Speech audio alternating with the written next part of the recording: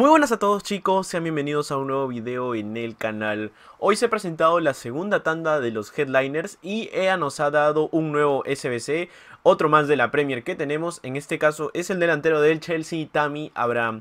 Lo he probado hoy unos partidos en Division Rivals, porque bueno, este tipo de delanteros no lo usaría en Foot Champions. Así que vamos a ver cómo es que ha sido su rendimiento dentro del juego.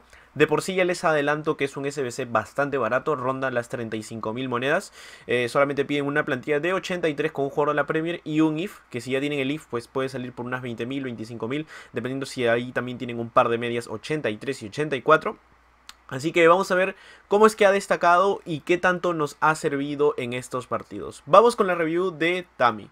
Pues bien, tenemos a Tammy Abraham, 1,96m, 3 de pierna mala, 3 de skills. Les adelanto que personalmente no me gustan este tipo de delanteros con 3 y 3. Habrá gente que le guste, habrá gente que no tenga problemas de jugar con delanteros así tipo Sánchez, tipo Jamie Bardi. Pero personalmente no siento que sean meta actualmente. 3 de tres partidos, 3 goles, nada mal para ser un delantero. Vamos con sus stats in-game. Pues bien, tenemos una aceleración de 77, bastante corta se nos queda la aceleración. Un sprint de 88, tiros, posición de ataque 91, definición de 91, bastante bien.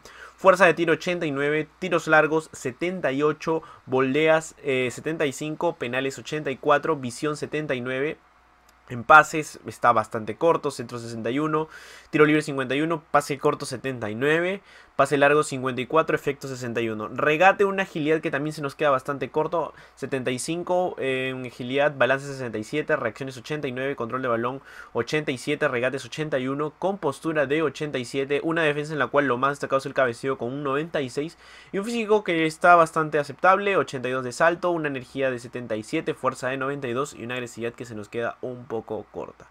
Pues bien, el ritmo la verdad es de que se siente que no es un jugador súper rápido, por eso le he tratado de subir un poco el ritmo, aún así se siente un jugador que no te va a ganar los pases filtrados al hueco frente a un defensa que por lo general con sombra los defensas rozan los 94-93 de ritmo, por lo cual es un jugador para tenerlo en el área, además de que en, eh, en sí no es un jugador que que sea tampoco muy ágil. En tiro sí está bastante bien, es un rematador, tiene una definición de 91, por lo cual con derecha va a definir bastante bien, pero la gran pega que va a tener es que al hacer el tiro de calidad, por ese efecto de 61 no nos va a resultar siempre bien, por lo cual simplemente tendríamos que presionar el botón de disparo por, si alguien quiere adelantarse a la pregunta de si sirve en otra posición, la verdad es que no lo recomendaría. Solamente es un jugador de punta. No tiene las stats ni las cualidades para ser un MP o un MCO.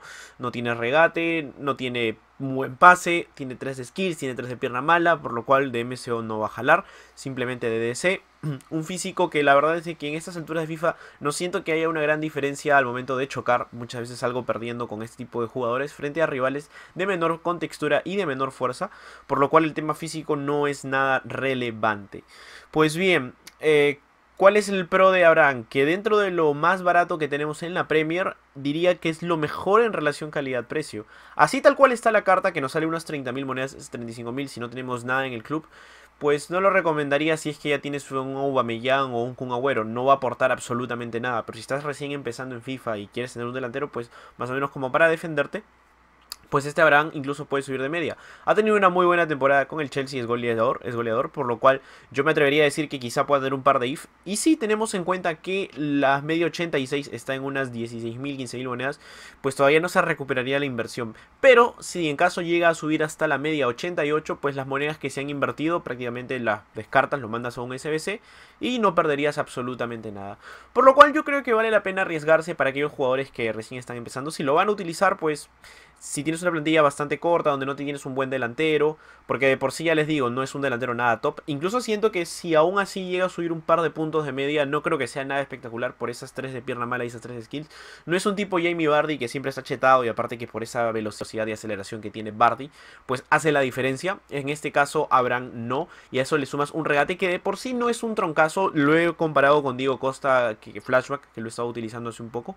Pues no, no es un troncazo, a diferencia de Costa, no lo han matado en la agilidad. Aún así, no es súper eh, ágil, no es que se va a dar la vuelta súper rápido. Pero quizá con un par de upgrades podría esa agilidad mejorar. Aún así, como les digo, tal cual está la carta 86 no me parece un precio excesivo. Más que todo por la liga y por el equipo, la nacionalidad también pesa. Pero si llega a subir un par de puntos, pues ya habrán recuperado todo lo que invirtieron en él. Así que para aquellos nuevos jugadores, una carta recomendada. De por sí, si pueden acompañarlo de un delantero súper rápido, sería muchísimo mejor. Aún así, si, si están empezando, pues no van a tener ese tipo de delanteros. Pero para los que quieren probarlo, está a un precio bastante económico. Y si no les gusta, esperan a que sube el upgrade y lo mandan a un SBC. Así que del 1 al 10, ¿cuánto recomiendo Abraham? Pues para jugar lo recomiendo en un 5 o 6. No me gusta este tipo de jugadores personalmente no van a, lograr nada, nada mejor en su plantilla si es que ya tienen delanteros de mayor nivel. Caso de Auba, caso de Agüero, son definitivamente ese tipo de jugadores están muy por debajo de ellos. Pero si lo ven como para un SBC o como para probarlo, o incluso para los desafíos tokens que nos piden jugadores de primera adquisición y no tenemos a un delantero de primera adquisición bueno, pues ahí podemos tener este Abraham que quizá en un par de partidos nos pueda ser útil. Así que chicos, hasta aquí la review del día de hoy. Vamos a seguir analizando todas las cartas SBC que nos salgan en los siguientes días. Si les gustó el video no olviden de dejar su buen like y de suscribirse para más contenido de FIFA 20. Nos vemos chicos en el próximo video. Adiós.